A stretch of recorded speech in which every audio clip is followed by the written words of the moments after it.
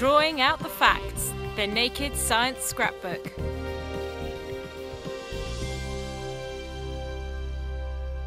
Hello and welcome to the Naked Science Scrapbook from the Naked Scientists.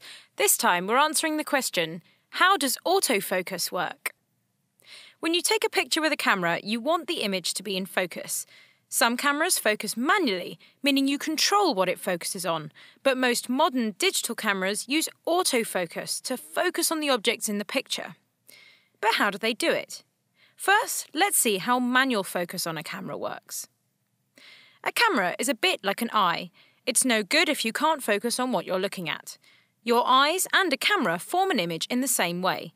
Light coming from a point on an object is focused by the cornea and the lens onto a point on the retina, or in the case of a camera, onto the film or digital sensor. But if the object moves further away, we have a problem. Each point is now focused onto a larger spot. These all overlap, producing a fuzzy image. Your eyes can change the shape of the lens in order to keep the light focusing on the retina. But a camera lens is made out of glass, so it can't just change shape. So, in order to focus on the more distant object, the lens needs to be moved. But in order to do this, you need to know exactly how far to move it, which means you need to know how far away the object itself is. You could measure the distance, and in fact, in very old manual focus cameras, you did have to guess how far away what you wanted to focus on was in order to set the lens in the right place. A rather more accurate way of focusing, rather than just guessing the distance, came from the unlikely place of battleships, and it was developed in the early 20th century. In order to hit an enemy ship with a shell, you need to know how far away to aim. So these battleships had a pair of periscopes about 10 metres apart, which would both produce an image of the enemy ship. If the ship was far away, both periscopes would point almost directly ahead and both see the ship. But if it was close by, the periscopes would have to point inwards to both be able to view the target. How much they had to point in told the distance to the enemy ship, and therefore how far away to aim the shell. So, how does this work in a camera? Well, in a manual SLR camera, which are those cameras with a big removable lens on the front, you have pretty much the same setup. Inside the camera, there are two mirrors that you can change the orientation of using the focus ring. A display inside the viewfinder allows you to see when the images from the two mirrors line up.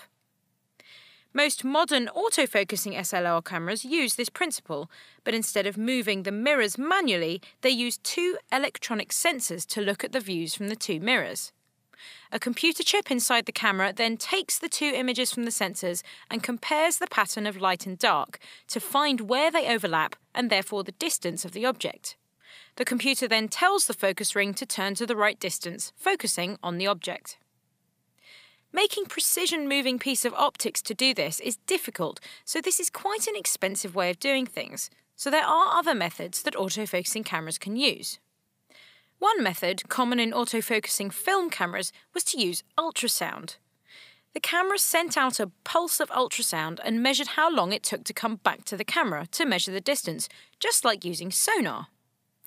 The problem with this method is that it's not very directional and it can be hard to determine exactly what reflected the sound and therefore exactly what distance to focus on. Most modern compact digital cameras can tell whether they're in focus by analysing the image on the main digital picture sensor and seeing how sharp it is. They then change the focus slightly and see if this makes the image more or less sharp. If it's better, the camera keeps moving the focus in that direction until it starts to get worse again, when it'll come back to the point where the image is most sharp. Of course, not all parts of the scene are the same distance away, so most digital cameras will choose to focus on whatever is in the middle of the image, while some can even detect faces and choose to focus on them. Autofocus is a quicker and easier way of making sure your photos are pin sharp than manual focusing, although manual does give you greater freedom over exactly what to focus on in your picture. But for the millions of people that own a compact digital camera, it's made taking pictures of your friends on a night out or your child at a sports game much easier. That's it for this time. To get the answers to more science questions, join us online at thenakedscientists.com forward slash scrapbook. Bye!